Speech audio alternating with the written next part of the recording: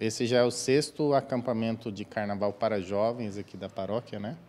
E é um momento assim de levar os jovens para um momento de oração, um momento de encontro pessoal com Deus, aproveitando esse feriado de carnaval, né? Então a gente tem a oportunidade de ter alguns dias mais com o pessoal disponível, né? Alguns comércios vão fechar, algumas pessoas não vão estar trabalhando, então para nós fica mais viável fazer nessa data.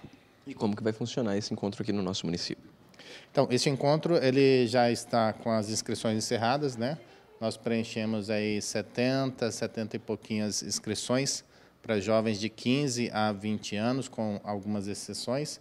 E será um momento assim de, de oração, de brincadeiras, de, de desafios, dinâmicas, né? Então, todo, todos aqueles que vão participar lá vão ver momentos muito bons seria de fato um momento em que o jovem sairia aqui do carnaval da cidade e teria esse encontro pessoal, esse que é o intuito da igreja com esse, com esse encontro?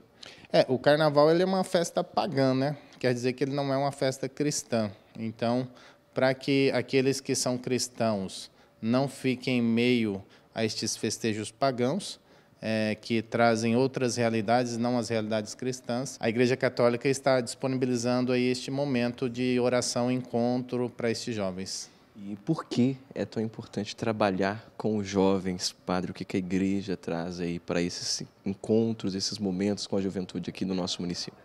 É, o Papa João Paulo II chamou a juventude para ser uma juventude santa, né?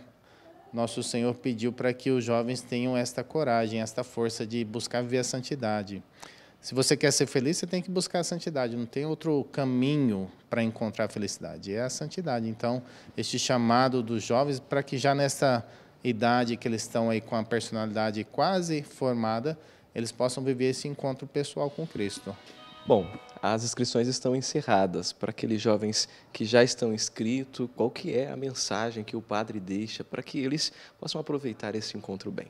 Tá, você que já está com a sua inscrição feita, já está se preparando, coração aberto para encontrar Jesus, coração disposto a viver os três melhores dias da sua vida e você pode ter certeza que serão os três melhores dias da sua vida.